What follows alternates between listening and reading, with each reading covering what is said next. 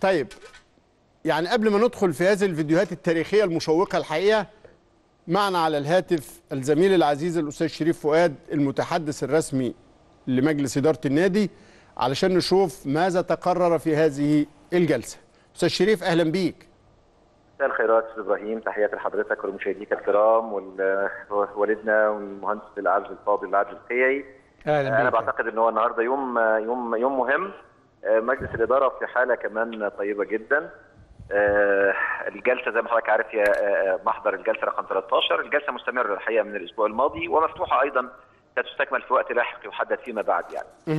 آه، الحقيقة إنه آه، آه، أول حاجة ال- ال- المجلس كان حريص عليها أستاذ إبراهيم هو توجيه التهنئة طبعا لأعضاء الجمعية العموميه للنادي الأهلي ولجماهير النادي الأهلي. بمناسبة اعتماد لائحه النظام الأساسي اللي تم التصويت عليها في 28 سبتمبر الماضي وتم اعتمادها من اللجنة الأولمبية بالإضافة إلى نشرها في ال- الجريدة الرسمية جريدة الوقائع وبالتالي دخلت حيز التنفيذ بمجرد النشر طبقا للقانون والدستور وبناء عليه أصبح من حق النادي الأهلي أن يدعو لاجتماع جمعيه عموميه عادية بناء على هذه اللائحة. وبالفعل مجلس الإدارة كان أول قرار خده النهارده هو دعوة الجمعية العمومية للنادي الأهلي لاجتماع يومي 23 و24 نوفمبر لاعتماد ميزانية النادي للعام المالي 2017 2018 وأيضا مناقشة باقي جدول الأعمال والمجلس الحقيقة بيهيب بالساده الأعضاء يعني الحرص على المشاركة في هذه الجمعية لمناقشة ال- ال- المجلس وممارسة حقهم الدستوري في ال- الحساب والنقاش وما إلى ذلك. أنا نفسي مرة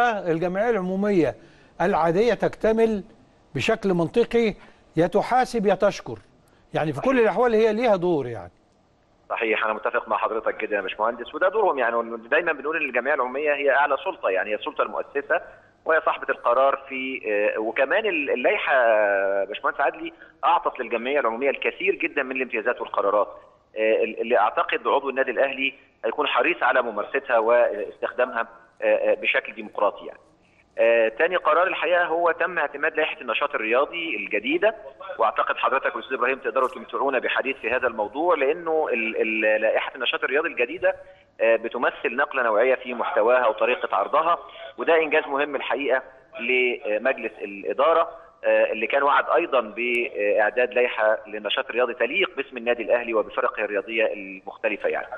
الحقيقة إنه على هامش هذا الموضوع تم مناقشة الكابتن رؤوف عبد القادر مدير النشاط الرياضي آه، في كثير من الأمور أبرزها آه، خسارة آه، فريق آه، اليد لكرة آه، آه، الفريق الأول لكرة اليد بطولة أفريقيا للأندية الأبطال يعني والظروف المحيطة خصوصا الجمهور كان قلق وكانت بعض الكلام كده أثير فالحقيقة المجلس قال إحنا منتظرين آه، نتيجة آه، آه، تقرير رئيس البعثة الكابتن جوهر نبيل وإن شاء الله الأهلي لو ليه حق يعني آه، آه، لن يتركه بالإضافة آه، إلى آه، يعني آه، بحث كل الأمور المتعلقة بهذا الموضوع ليطمئن الجمهور وليبقى النادي الأهلي في الصدارة في كل لعب الصالات وليس فقط في كرة الكرة الطايرة أو كرة اليد يعني.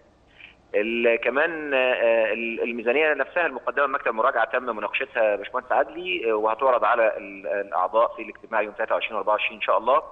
الأهم واللي آه، يعني كلم حضرتك فيه من شوية العميد محمد مرجان المدير التنفيذي للنادي. ده كان الشغل الشاغل الحقيقة للجنة والمجلس الإدارة النهارده. هو الإعداد الجيد والتنظيم الممتاز لنهائي إفريقيا آه، آه، لكرة القدم للنادي الأهلي نادي. متذكر رقم ال- الأرقام بتاعت الميزانية؟ يعني ال- الميزانية كام والموازنة كام؟ الرقمين دول في ذهنك؟ لا لسه الحقيقة الحقيقة يا باشمهندس يعني المجلس لم لا يعني بالتأكيد هنعرفها بعد كده من السيد امين الصندوق. لا بقى. طبعا. آه. آه طبعا. تقدر حضرتك. ما فيش مشكلة المهن- الأستاذ خالد رندلي إن شاء الله يقول لنا بعض التفاصيل يعني.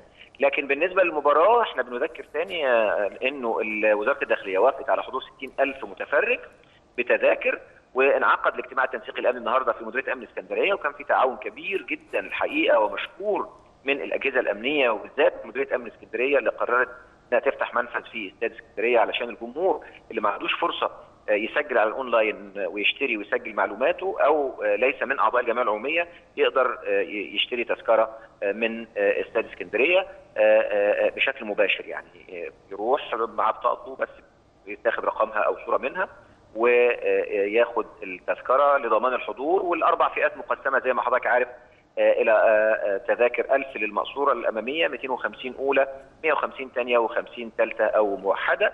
والحقيقة في إقبال منقطع النظير على ال system على الأونلاين. كل محافظات الجمهورية بتحجز وبالتالي سيتم تسليم التذاكر ليهم في المكان اللي يختاروه إما القاهرة الكبرى أو الإسكندرية بعد ما يدفع لفوري. وده نظام محترم جدا وبيسهل على الجماهير وعلى اللجنة المنظمة الحقيقة وتم تخصيص ال- الدرجة الأولى يمين ممتاز لجمهور فريق الترجي التونسي الشقيق. آه، على أن تكون المعاملة بالمثل إن شاء الله مجانا في مباراة العودة. يبقى الحضور الجماهيري الكبير والمؤثر واللي بيحرك الصخر والحقيقة إنه آه، النادي الأهلي في أمس الحاجة لجمهوره وجمهوره العظيم لم يتخلى عنه ابدا. طبعا يا باشمهندس ونقدر نسمع من حضرتك والاستاذ إبراهيم كلام كتير في هذا الإطار يعني. شكرا جزيلا. شكرا ليك و... أستاذ شريف فؤاد المتحدث الرسمي للنادي.